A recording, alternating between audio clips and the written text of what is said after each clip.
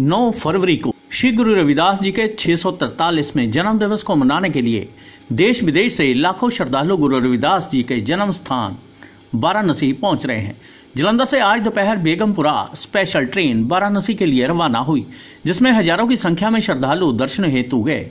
यह सभी श्रद्धालु श्री गुरु रविदास जी के जन्म स्थल वाराणसी में 9 फरवरी को मनाए जाने वाले 643 में प्रकाश दिवस में शामिल होने के लिए जा रहे हैं इनकी अगुवाई डेरा सचखंड बल्ला के गद्दी नशीन संत निरंजन दास जी कर रहे हैं ब्यूरो फिर अचानक न्यूज ਮੇਰਾ ਨਾਮ ਹੈ ਸ਼ਵਿੰਦਰ ਸਿੰਘ ਵਿਰਦੀ ਮੈਂ ਕੈਨੇਡਾ ਤੋਂ ਆਇਆ ਪਹਿਲੀ ਵਾਰ ਚੱਲਾ ਕਾਂਚੀ ਅਹ ਬਹੁਤ ਲੋਕੀ ਹੈ ਇੱਥੇ ਬਹੁਤ ਮੈਂ- ਬਹੁਤ ਖੁਸ਼ੀ ਹੋ ਰਹੀ ਹੈ ਦੇਖ ਕੇ ਬਹੁਤ ਲੋਕੀ ਜਾਂਦੇ ਸਾਰੇ ਮਹਾਰਾਜ ਨੂੰ ਦੇਖਣ ਚੱਲੇ ਆ ਬਹੁਤ ਖੁਸ਼ੀ ਹੋ ਰਹੀ ਹੈ?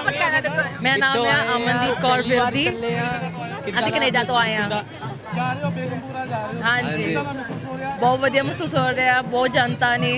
ਬਹੁਤ ਵਧੀਆ ਲੱਗ ਰਿਹਾ ਕਿ ਪਹਿਲੀ ਵਾਰ ਖੁਸ਼ੀ ਹੋ ਰਹੀ ਆ ਕਿ ਮਹਾਰਾਜ ਜੀ ਨੂੰ ਹਾਂ ਮਿਲਣਾ ਹੈਗਾ ਉੱਥੇ। ਮੇਰਾ ਨਾਮ ਸੇਵਾ ਸਿੰਘ ਬਿਰਦੀ ਆ ਜੀ। ਮੈਂ ਕੈਨੇਡਾ ਮੌਂਟਰੀਅਲ ਤੋਂ ਆਇਆ ਜੀ। ਬਹੁਤ ਵਧੀਆ ਲੱਗ ਰਿਹਾ ਜੀ। ਆਪਣੇ ਸਮਾਜ ਦੇ ਲੋਕਾਂ ਨੂੰ ਦੁਨੀਆ ਵਿੱਚ ਦੇਖ ਕੇ ਵਧੀਆ ਤਰੀਕੇ ਦੇ ਨਾਲ ਜੋ ਮਹਾਰਾਜ ਦਾ ਸੁਪਨਾ ਸੀ, ਉਹ ਪੂਰਾ ਹੁੰਦਾ ਦੇਖ ਕੇ ਬਹੁਤ ਖੁਸ਼ੀ ਹੋ ਰਹੀ ਆ ਜੀ। ਨਹੀਂ ਜੀ, ਮੈਂ ਕਈ ਵਾਰੀ ਜਾ ਆਇਆ ਜੀ। ਪਹਿਲ, ਬੱਚੇ ਸਾਡੇ ਪਹਿਲੀ ਵਾਰ ਜਾ ਰਹੇ ਆ ਜੀ।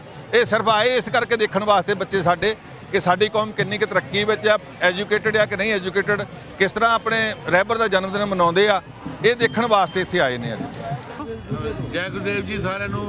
ਮੇਰਾ ਨਾਮ ਦੇਸਰਾਜ ਮੇਮੀ ਜੀ। ਮੈਂ Shri Gurdas international organisation for human rights UK ਦਾ ਮੈਂ ਪ੍ਰਧਾਨ ਹੈਗਾ ਆ। ਅਸੀਂ ਅੱਜ ਇੱਥੇ ਇੰਗਲੈਂਡ ਤੋਂ ਸਤਿਗੁਰੂ ਅਰਦਾਸ ਮਹਾਰਾਜ ਦੇ 643ਵੇਂ ਜਨਮ ਉਤਸਵ ਤੇ ਅਸੀਂ ਇੱਥੇ ਸ਼ੋਭਾ ਯਾਤਰਾ ਤੇ ਆਏ ਹੋਏ ਆ। ਅੱਜ ਇੱਥੋਂ ਜਲੰਧਰ ਤੋਂ ਸਟੇਸ਼ਨ ਤੋਂ ਕਾਂਚੀ ਨੂੰ ਟ੍ਰੇਨ ਜਾ ਰਹੀ ਆ ਸੰਗਤਾਂ ਸਾਰੀਆਂ ਇਕੱਠੀਆਂ ਹੋ ਕੇ ਜਾ ਰਹੀਆਂ। ਅਸੀਂ ਸਤਿਗੁਰ ਮਹਾਰਾਜ ਦੇ ਜਨਮ ਦਿਨ ਦੀਆਂ ਪੂਰੇ ਜਗਤ ਨੂੰ ਲੱਖ ਲੱਖ ਵਧਾਈਆਂ ਦਿੰਦੇ ਆ ਸਰ ਗੱਲ ਕਰੀਏ ਜੇ ਯੂ ਐਸ ਏ ਦੀ ਗੱਲ ਕੈਨੇਡਾ ਦੀ ਗੱਲ ਕਰੀਏ ਕਿੰਨੀ ਕਿ ਸੰਗਤ ਬਾਹਰ ਤੋਂ ਆਈ ਹੈ ਇਸ ਵੇਲੇ? ਮੇਰਾ ਖਿਆਲ ਆ ਤਕਰੀਬਨ ਅੱਧੀ ਨਾਲੋਂ ਜ਼ਿਆਦਾ ਟ੍ਰੇਨ ਬਾਹਰੋਂ ਹੀ ਆ। ਸੰਗਤ ਬਹੁਤ ਹੈਗੀ ਆ।